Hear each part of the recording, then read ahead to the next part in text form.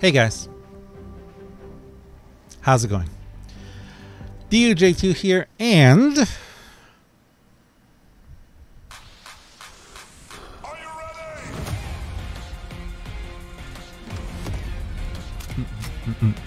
wow.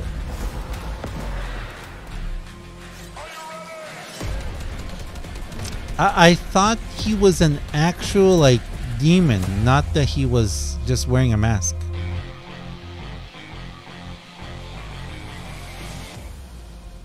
Okay, so he's a rocker.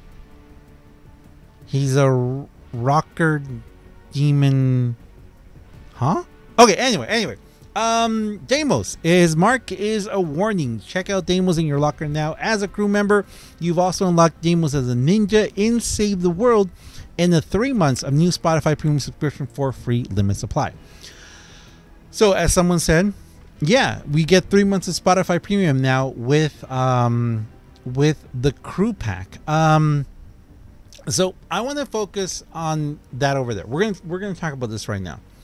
Uh, I I know that I already did a video, kind of you know talking about in the upcoming home base status report and, and you know the whole thing. But I, I really want to talk about what I think this means for Save the World, um, because there's a lot of, I guess there's a lot of of hope out there that Save the World is not dead and at the same time there's a lot of you know people who have been like no it's got save the world. It's dead. It's over.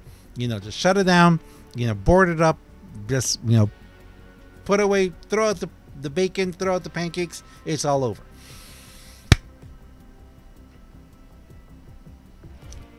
I find it very interesting that they are actually referring save the world. They're actually kind of putting Save the World front and center in this.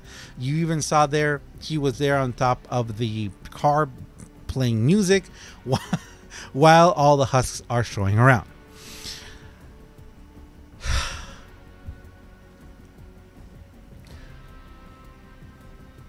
I'm going to start this by something that I was talking about during stream today. Ever since Battle Royale came out, and, and and, I want to say this with the most, um, I want to say this with with the most care possible. Fortnite Epic made the decision to stop developing Save the World long, long, long ago. For those of you who, or for those of us who have been around for a long time, if you ever, if you ever saw the Save the World, if you or if you heard about Save the World before 2017, you know that like a lot of games, like maybe Outriders and other games like that, they had they had an online presence. They had a uh, Reddit presence. They had you know kind of like that. The developers were trying to contact and communicate with the community long before the game came out. Uh, Save the World came out, I believe it was at the end of mid 2017 uh, there was an alpha before that. There were people who were in the alpha. Uh, I I never got into the alpha back then. I, oh, I kind of did. I played for two weeks the alpha, but that's a whole other story. Um, but there was a lot. There was a lot of communication. Um, there were there were videos. There were uh, basically um, like streams that the developers did with the Reddit community, where they would just sit there and just show the game and talk about the game for hours. There was a lot of pre work on Save the World long before Battle Royale was even a concept that they were going to do.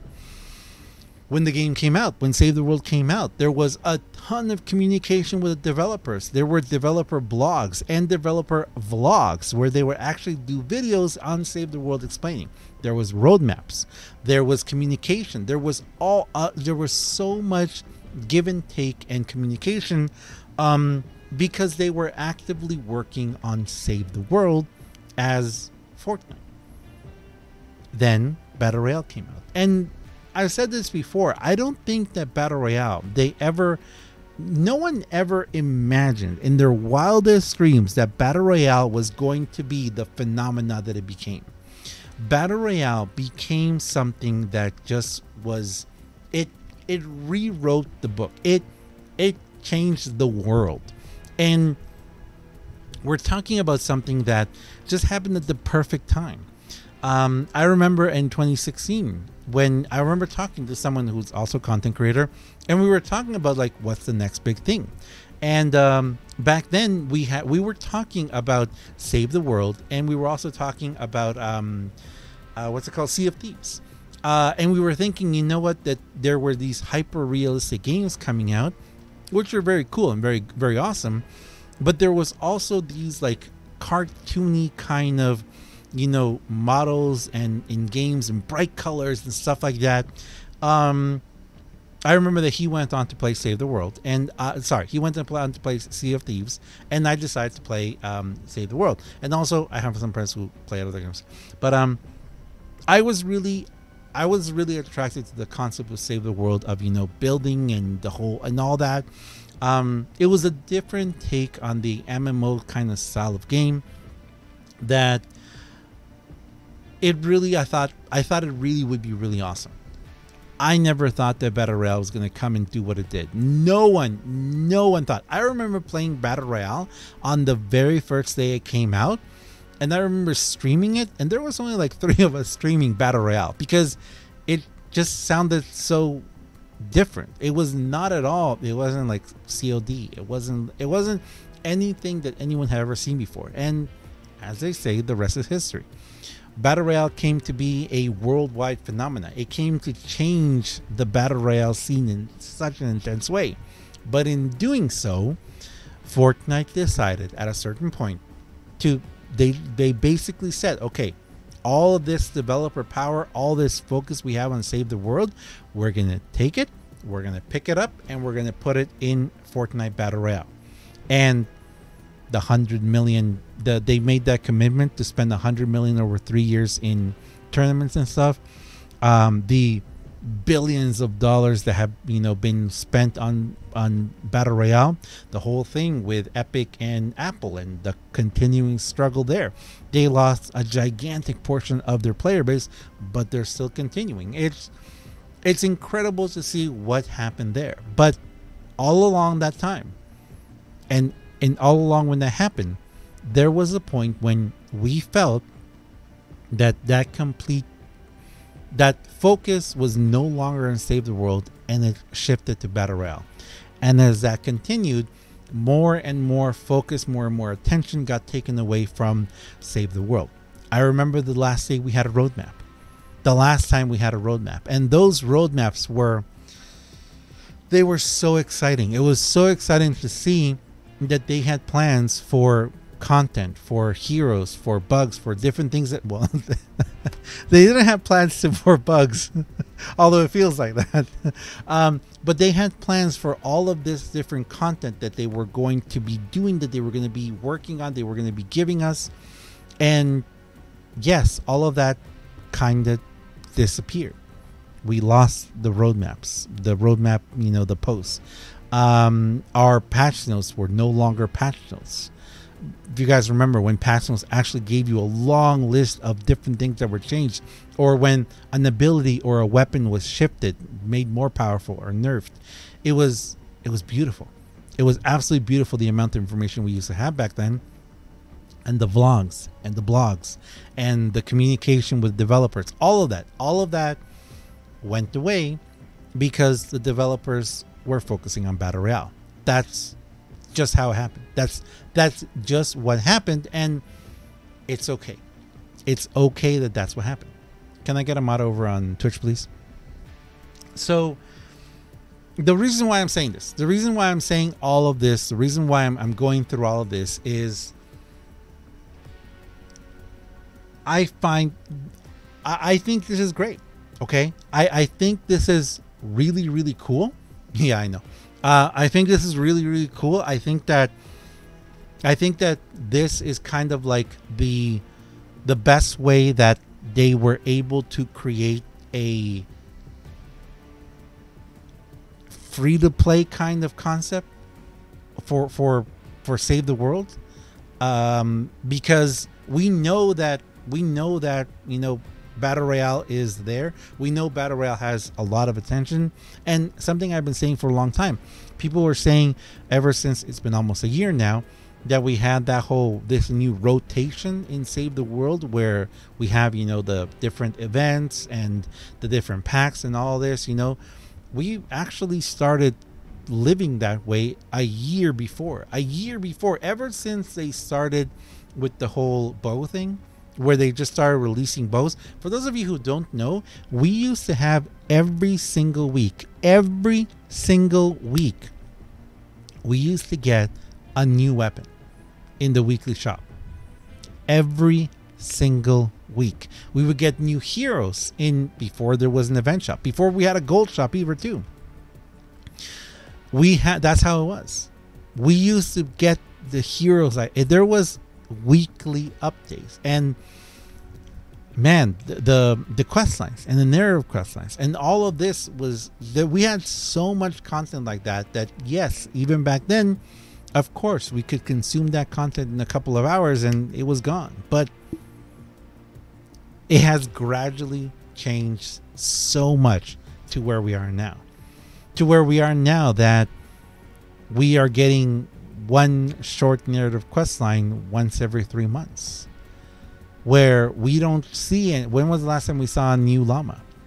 When was the last time we saw when they started putting the when when they started putting all of the weapons and, in Survivor and heroes in the in the in the collection book, and then they made it so that we could research them, and we were kind of back then we even thought, oh, this is great. This means that we're actually going to be getting a lot new content. We're going to get new llamas. We're going to get new stuff like that. So we have slowly, okay? We have slowly, slowly, slowly been just slowly progressing down, down, down, down. We've been going down the mountain for very, very long. So when when someone tells me, just wait, there's new stuff coming. Yes, I, I understand. It's possible that we may get, we still don't know the largest story. It's possible that there is a large story coming someday it's possible that we'll get other small narrative quest lines. But for someone who's been playing from the very beginning, I don't ever see us getting back to that. I don't get us I don't remember I don't I don't believe that we're going to get back to the point where we're going to have roadmaps and weekly developer talks and developer blogs and developer vlogs and the communication on Reddit and uh, a new weapon, a brand new weapon every week, and a new quest line, even a mini quest line every month, you know, or every couple of weeks. Because I remember, if I remember correctly, we were on a rotation of every two weeks, we would get a new quest line, new areas, new maps. I, I, I don't see them doing that unless and I'm gonna I'm gonna end with this because yes, this is a rant. I I said this I said this during my stream, which I am streaming right now still. I said that the only way, the only way that I could see them going back to that is if when Epic saw, when Fortnite saw how much Battle Royale was taking off, someone said, okay, wait, wait, wait we need to put, put all our attention on this battle royale thing. We need to put everything we have behind this BR thing because this is going to be huge. And they said, listen, save the world. Creative didn't even exist back then. Save the world. We're going to take all of your developers, all of your resources, everything that you've been working on, and we're to put it into Battle Royale. Okay, we're to focus it. We're to make it into skins do you do you realize how many of the battle royale skins were probably meant for save the world how many of those skins were originally probably and resources and assets how much of all that was probably originally planned for save the world all the different maps and stuff like all the different resources in the world they, they must have thought of using them in different maps and save the world first they didn't have all this ready to go i I firmly believe that so many skins and so many assets were originally earmarked and designed for Save the World, but then they took them and put them into Battle Royale. So the only way that I can believe that Battle Royale Save the World is going to get that kind of attention again is if someone said, okay, we are going to work. Okay, we are going to work on battle royale. We're going to put all our resources right now. We're going to take all of our resources and put them into battle royale. And when the this whole battle royale craze ends, then we will take all the resources, we'll take all the developers, and we'll put them back on Save the World. Battle Royale is finally winding down a little bit. This season that we're currently in, it is obviously in preparation for either them winding down on Battle Royale permanently or in preparation for taking Battle Royale into Unreal Engine 5 and potentially Chapter 3 of Battle Royale and maybe something brand new and incredible. Or they could be like, hey, we're going to start working on Save the World again. Yes, there have been some huge updates. There's been the recombobulator system, there's been the hero system. Um, there's been some major quality of life and meta changes in Save the World, but we're still missing huge portions of it. The meta change to the to the heroes and abilities that that never got finished. The rebalancing in higher level missions and how they were how they originally told us that was going to work how they originally told us that they were going to rebalance it in such a way so that the materials and the evolution materials that you got, especially the the perk ups, the legendary and epic perk especially all that, it wouldn't take you 14 hours, which it doesn't take that much anymore. I think it takes like eight or nine hours now. But it wouldn't back then. It would take us 14 hours of grinding to be able to take one weapon up to max in legendary legendary perks. That's slightly changed. But they originally told us that the way they were going to rework that and fix that, it would be that you could max out several weapons in just playing a few hours. That never got finished. There's there's some major major parts of the of the game, and we're talking we're talking back in like version nine and version ten of the game, before actually seven and eight seven, eight, and nine was when they were talking about big changes that we're going to be doing, and all those changes, all those big meta changes, and big, you know, how the game was going to work. Those kind of halfway got done, but then they just forgot about them, or they just left them on the back burner, and then they took them off the back burner and they put them in the fridge, and then they took them off the fridge, you know, from the fridge, and they put them in the freezer, and they've been on ice for a while. So there's a lot of really big things that we know that Save the World has not done. The survivors system, the defender system, the expedition system. There's still also within Save the World massive, massive chunks of the game that we know are not finished. They never got to them. And then it brings us to this. I think this is great. I think this is that's actually there. Save the World is actually there, and it's they're not charging twenty dollars for it. They're not charging ten dollars for it. They're putting it for free in the crew, something that hundreds of thousands of people already are paying for every single month now. Is it going to be a staple? Is this a one-time thing? Are they going to put the Fortnite access for the Save the World access in the next month's crew? And the next one after that. Which also brings us to the question what's going to happen to the Save the World packs in Save the World? If those skins are eventually going to show up in the Battle Royale shop anyway, are they going to stop doing those packs? The yearly rotation that we're on, is it now, is it set? Are those five packs the packs we're always going to see and we're never going to see any new packs? Will this, is this a test? Is it a test from Battle Royale and from Fortnite to see, let's see how many people actually try Save the World.